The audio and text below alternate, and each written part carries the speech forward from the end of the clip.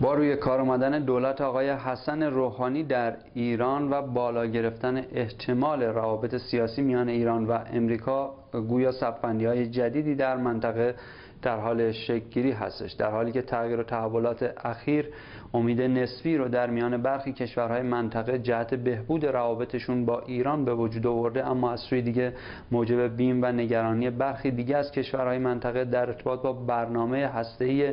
ایران و آینده این برنامه و همینطور تامین منافعشون شده. در همین ارتباط یعنی تحولات اخیر میان ایران و امریکا آقای داوود اغلو وزیر امور خارجه ترکیه در یک برنامه تلویزیونی امروز عنوان کرد که نرمش اخیر در تحولات ایران و امریکا انعکاس مثبتی برای ترکیه به همراه خواهد داشت. آقای داوود اغلو عنوان کردن که ایران یکی از داینامیک ترین بازارهای آسیا رو در اختیار داره و در صورت باز شدن این بازار به روی جامعه جهانی منافع اقتصادی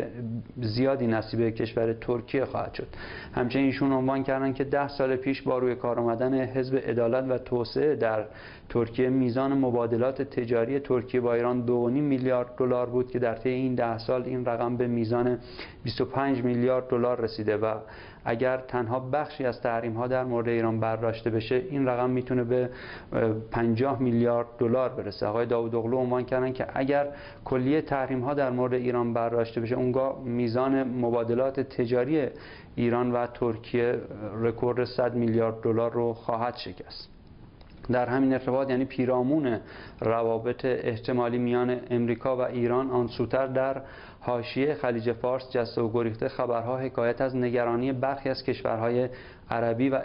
اسرائیل در ارتباط با تأمین منافعشون در آینده پیامده روابط احتمالی ایران و امریکا و همچنین نگرانی از آینده برنامه هسته ایران داره. برخی از روزنامه های اسرائیلی عنوان کردن که دولت اسرائیل و برخی کشورهای عربی به این نتیجه رسیدن که ایجاد یک ائتلاف